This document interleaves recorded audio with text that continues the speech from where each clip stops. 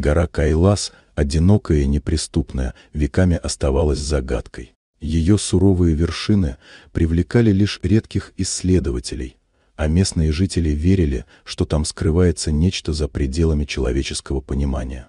Группа ученых из Международного института экологии отправилась туда с миссией установить камеры для изучения местной флоры и фауны.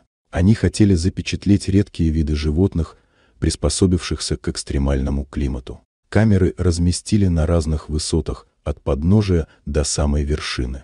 Первые недели наблюдений не дали ничего особенного. В объективы попадали снежные барсы, горные козлы, хищные птицы, а иногда и внезапные лавины.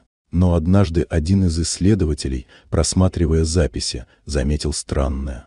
На одном из кадров, среди завывающего снегопада, на фоне скал появилась темная фигура. Она стояла неподвижно, будто наблюдая за камерой. Облачение ее было необычным, нечто вроде длинного, темного плаща с капюшоном, скрывающим лицо.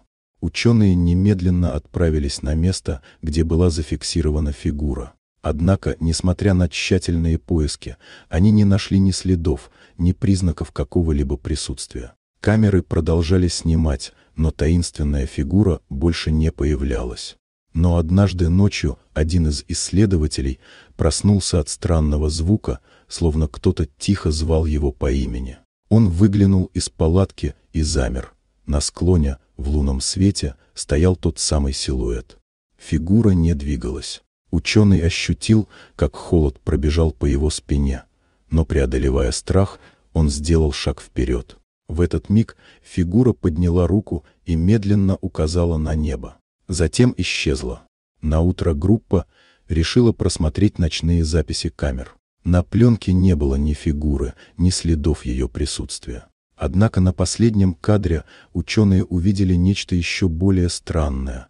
Звезды в небе выглядели иначе. Некоторые из них складывались в неизвестный узор, напоминающий древний символ.